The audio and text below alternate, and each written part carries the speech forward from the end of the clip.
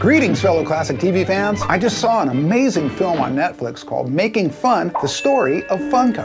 This documentary tells the tale of the extremely successful company and the fact that it was created by their love of nostalgia and pop culture. And being the classic TV fan that I am, it inspired me to do a little holiday gift shopping. Right now, I've got my eye on some of their classic cartoon items. In their vinyl collection, I found a two-pack Quick Draw McGraw and Baba Looey. There's also ones of Huckleberry Hound and Snagglepuss, as well as Ranger Smith and Yogi Bear. The Dorbz category has a three-pack of the Jetsons' Rosie, Jane, and Judy. You'll also find a three-pack bundle of Hong Kong Kung Ricochet Rabbit, and Peter Potamus. The Mystery Minis category has a great classic Warner Brothers collection, and there's even a Huckleberry Hound and Captain Caveman breakfast cereal. So if you're searching for some fun gift ideas that also make great stocking stuffers, check out all that Funko.com has to offer. And be sure to catch that Netflix film, Making Fun, The Story of Funko, if you haven't already.